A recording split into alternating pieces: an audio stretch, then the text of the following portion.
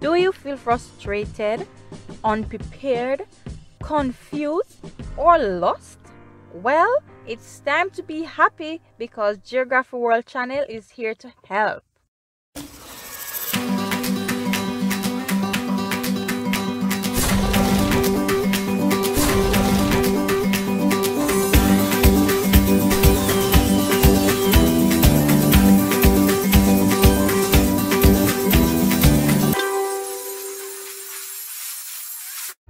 I see the comments and requests and I will act on them. Please remember to follow Geography World channel on Instagram and Facebook using the link shown on the screen. Please remember to like, share with your friends and subscribe. For person wishing to contact me privately, you may email me at geographyworld100 at gmail.com. The link will be posted below. Welcome back to Geography World channel. For this video, I'll be looking at the May June 2017 CAPE Geography Paper 2. Now for this video, I'll be looking at the answers for question 3 that looks at module 2. Let me go to question 3. Now question 3, it shows us a table which shows the characteristics of river X and where to answer the questions that follow. So in the first column, we have the stream order. The second column, we have the number of stream segments. And in the third column, we have the total length of the stream segment. And it's in kilometers. Now, first question asks that we calculate the bifurcation ratio for river X.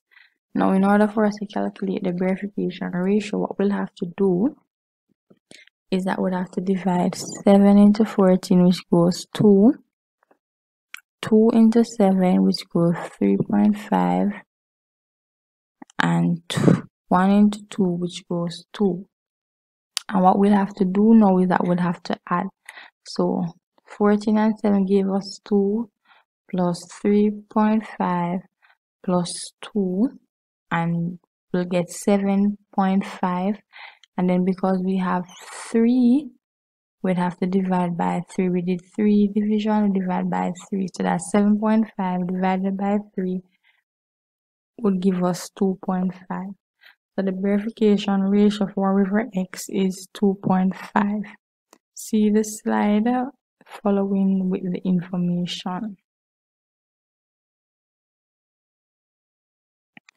Part B or part 2 sorry asks us to calculate the drainage density of the river basin. Now the formula for the river the density of the river basin is the total length of the streams over the area of the basin.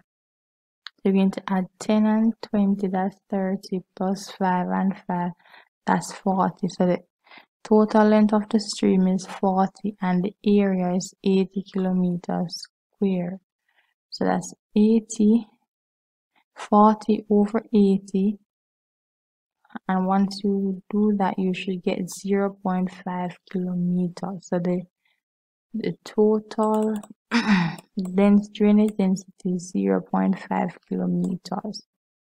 Can look at the slide that follows with the working out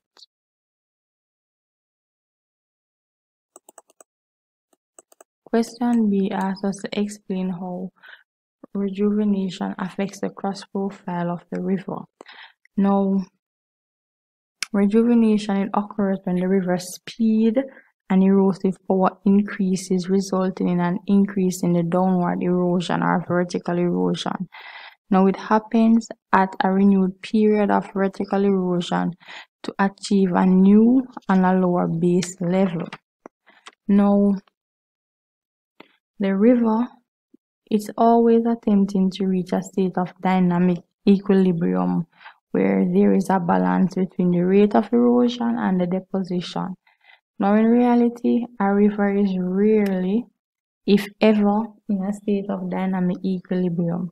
So the changes in the discharge and the sediment load are constantly changing the profile of the river. Now when the river when the sea level falls in relation to the sea, we have a land that emerges from the sea. So the land from the sea steepens the river gradient and this thus increases the river erosive power or the erosional power.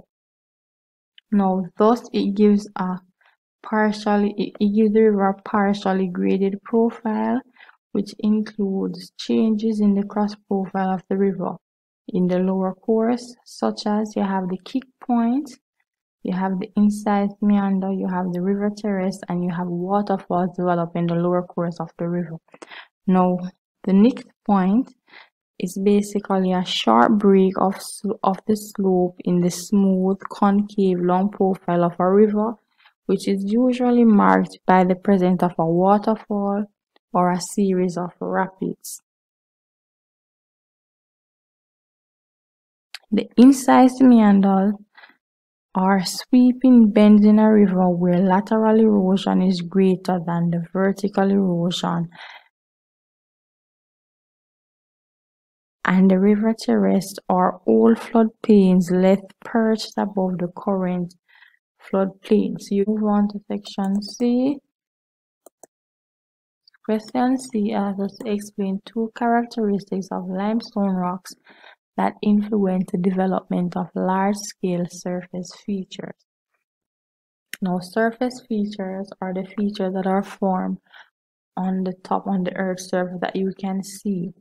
Now, because of the chemical composition of the limestone, meaning the limestone has 80% calcium carbonate and it's on the surface, once the rainfall, the top part of the limestone is exposed to the rainfall so it makes it very very easy for chemical weathering to take place. Thus the formation of surface features the distinct joints and cracks and the layers along the bedding plane makes it also easy for chemical weathering to take place because the the layers and the joints um they make it easier for water to seep through the limestone rock. So that's another um another characteristics of limestone and we also look at the permeability of the rock. It's remember the limestone makes it it's pretty permeable so it allows water to easily seep through it. So because of the permeability of the limestone it helps influence the development of the large scale surface features that we have.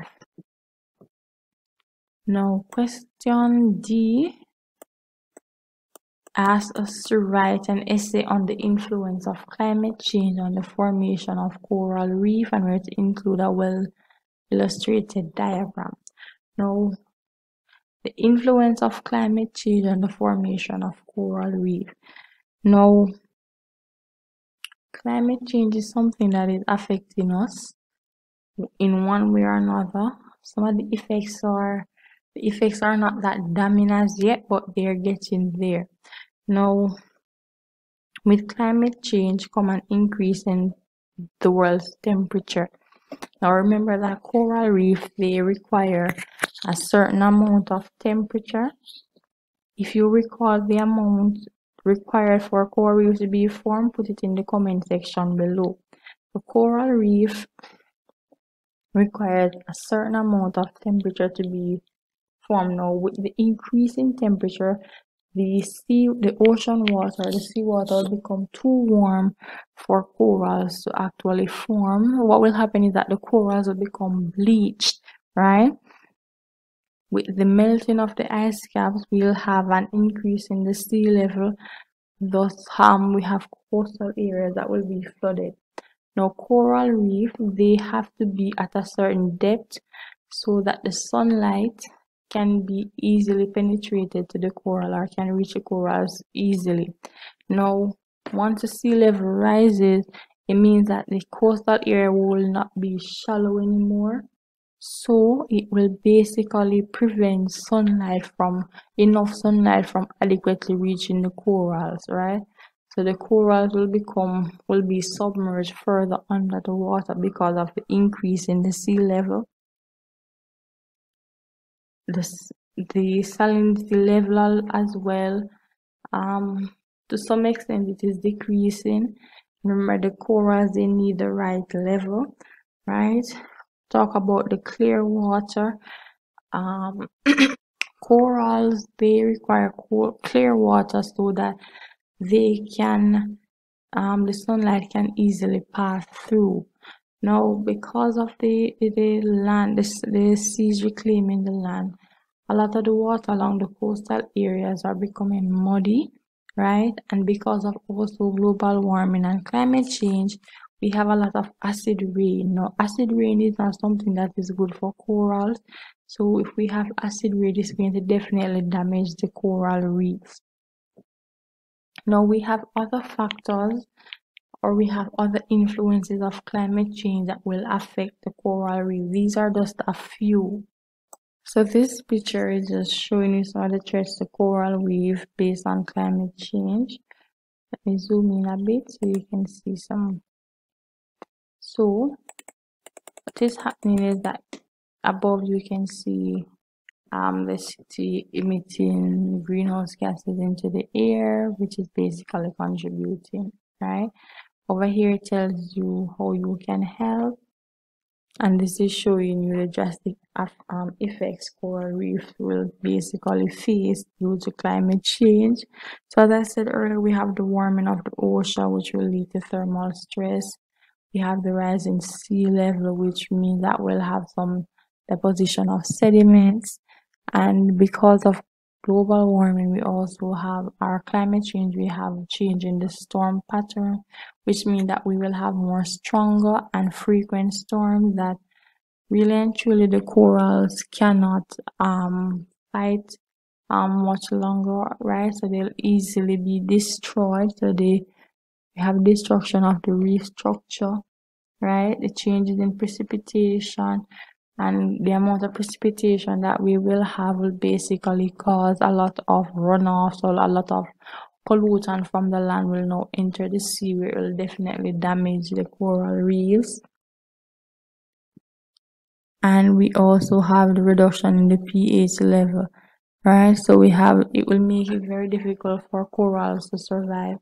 So within a few years right with the rate at which global warming is taking place at um within a few years most of the corals will actually die out right? So we'll have a small percentage of coral reef living on still living in our seas because they said the, the um, ocean temperatures they're increasing relatively quickly.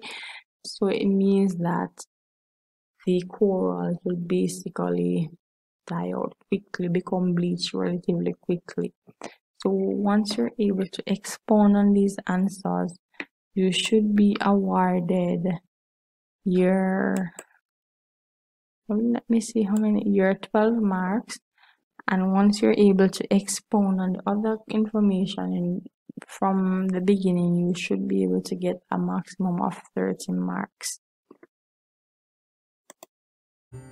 we are at the end of this video thank you for watching and please remember to like share subscribe and turn on your post notification bell in order to receive more videos like these Leave comments below suggesting topics that you would want me to present on. In the comment section below, comment the name of your school and the territory for a shout out in my next video. Until then, bye.